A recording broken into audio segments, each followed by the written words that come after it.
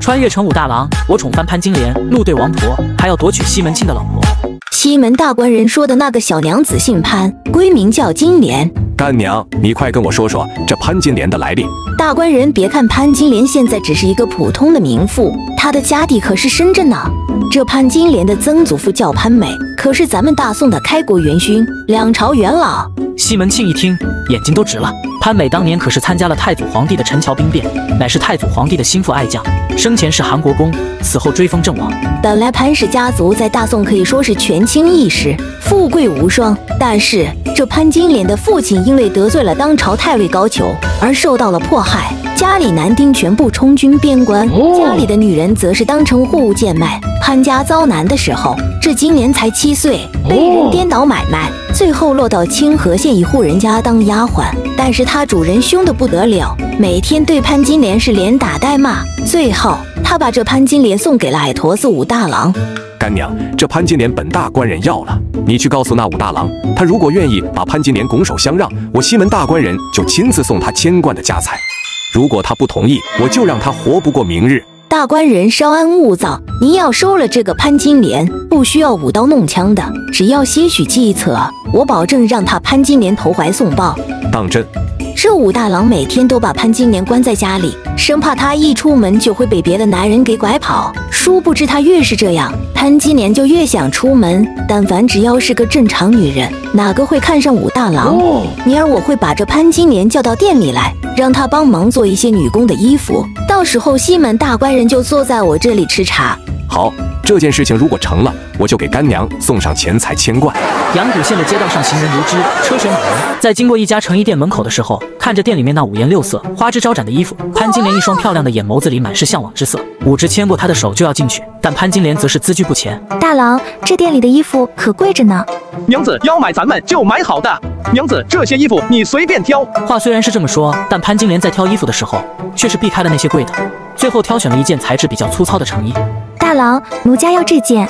店家，你把那件天蓝色的绸缎衣裳打包好。刚才潘金莲在挑衣服的时候，武直发现他的目光在那件天蓝色的绸缎裙子上停留了好一会儿。在武直的印象当中，潘金莲应该是一个嫌贫爱富的女人。可是眼前这位，出的厅堂，入的厨房，贤惠温婉，这样的人儿，值得武直守护一辈子。大郎，这件衣服太贵了。潘金莲没想到武直看穿了她的小心思，她心中有些胆怯，但更多的还是替武直着想。只要娘子喜欢，别说是一件衣服，就算你要天上的星星，我也替你摘下来。潘金莲哪里听过这样没羞没臊的情话，精致的脸颊当下就红了。夫妻两个正欢欢喜喜要出去的时候，门外进来了两个女人。哟，西门大娘子来啦！原来这个丰腴多肉的妇人，竟然是西门庆的正妻吴月梅。本以为这吴月梅会是个又肥又丑的悍妇，没想到竟然生得如此白皙多汁。西门庆放着她不管，每天在青楼里花天酒地，简直就是暴殄天物。这时恰好有一阵风从门外吹拂而来，顿时一股浓烈的狐臭从这西门大娘子身上弥漫开。店老板显然知道吴越没有狐臭，连忙从柜台后取出一个丝绸袋子，恭敬地递给她。西门大娘子，这是最新的香囊。笑什么笑？你这登徒子！我是笑大娘子这样做是治标不治本。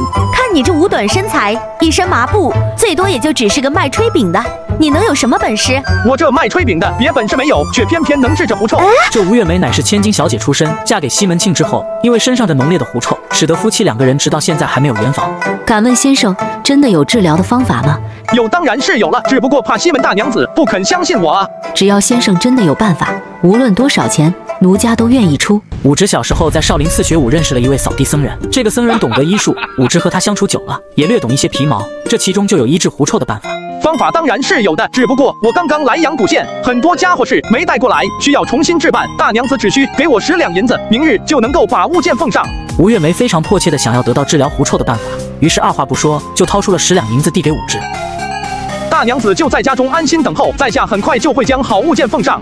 回去的路上，潘金莲用一种很奇特的眼神看着武直。娘子有什么话尽管问。官人，你真的有办法治疗西门大娘子吗？娘子只管在旁边看便是。你男人我会的东西可多着呢。也不知怎地，有那么一瞬间，潘金莲突然发现自己的男人长得还挺好看。娘子愣着干嘛？走吧，走吧，咱们回家。潘金莲手里抱着一件浅蓝色的长裙，就像是抱着一个宝贝，眼眸之中隐隐有着一份幸福之色。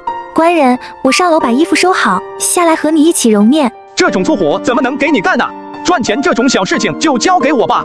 无论在什么朝代，女人的钱最好赚。武直在揉面的时候，潘金莲还是换上了粗布衣服，站在武直身边一起揉面。